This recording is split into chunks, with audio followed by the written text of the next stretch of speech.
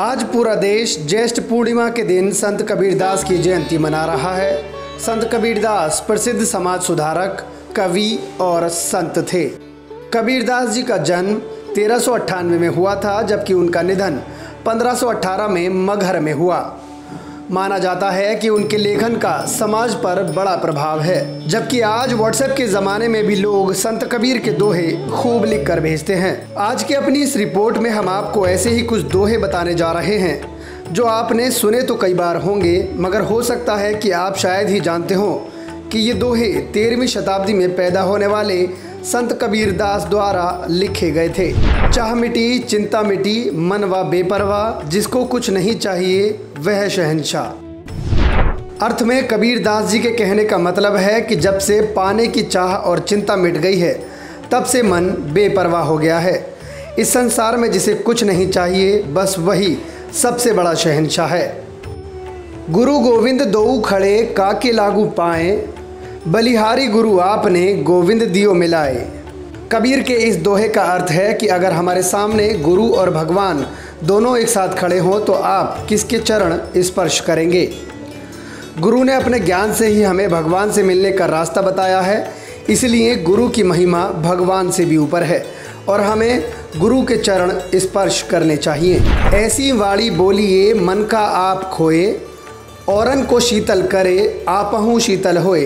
अर्थ में कबीर दास जी के कहने का मतलब है कि इंसान को ऐसी भाषा बोलनी चाहिए जो सुनने वाले के मन को बहुत अच्छी लगे। ऐसी भाषा दूसरे लोगों को तो खुशी पहुंचाती ही है। इसके साथ ही खुद को भी बड़े आनंद का अनुभव होता है। बुरा जो देखन मैं चला, बुरा न मिलिया कोई जो मन देखा अपना, मुझसे बुरा न खोए इस दोहे का अर्थ है कि मैं सारा जीवन दूसरों की बुराइयाँ देखने में लगा रहा। लेकिन जब मैंने खुद अपने मन में झाँक कर देखा तो पाया कि मुझसे बुरा कोई इंसान नहीं है। मैं ही सबसे स्वार्थी और बुरा हूँ, अर्थात हम लोग दूसरों की बुराइयाँ बहुत देखते हैं, लेकिन अगर खुद के अंदर झाँक कर देखें तो पाएँगे कि हमसे बुरा इंसान कोई नहीं है।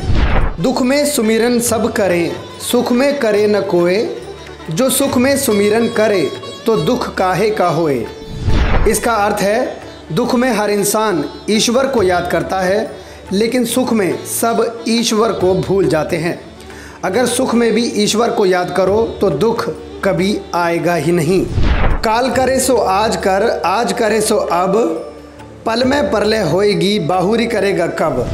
अर्थ में कबीरदास के कहने का मतलब है कि हमारे पास समय बहुत कम है, जो काम कल करना है वो आज करो, और जो काम आज करना है वो अभी करो, क्योंकि पता नहीं कब क्या हो जाए। दोस्तों, संत कबीरदास के बारे में एक और बात कही जाती है कि वो अंधविश्वास के सख्त खिलाफ थे, और उन्होंने अपनी धारधार लेखनी से अंधविश्वास के खिलाफ भी कई दोहे लिखे थे। मगर वो हम आपको अपनी किसी अगली रिपोर्ट में बताएँगे। लेकिन अगर आपने संत कबीरदास के बारे में पढ़ा है और उनका कोई दोहा आपको बहुत पसंद है तो आप उसे आप हमारे कमेंट बॉक्स में ज़रूर लिखिएगा, ताकि अगली रिपोर्ट में हम आपके नाम के साथ उस दोहे को शामिल कर सकें। दोस्तों, फ़िलहाल इस वीडियो में इतना ही। वीडियो अगर पसंद आई हो तो वीडियो को लाइक करके शेयर कर दें और चैनल को सब्सक्राइब ज़रूर कर दें। और हाँ दोस्तों, इससे पहले एक वीडियो हमने आपके साथ शेयर की थी। जिसमें धर्मांतरण कर नवीन से नवेद बने युवक के बारे में बताया था। वीडियो अगर आपने अभी तक नहीं देखी है तो उसका लिंक डिस्क्रिप्शन में है। उस वीडियो को भी देखकर आप अपनी राय कमेंट बॉक्स में दे सकते हैं।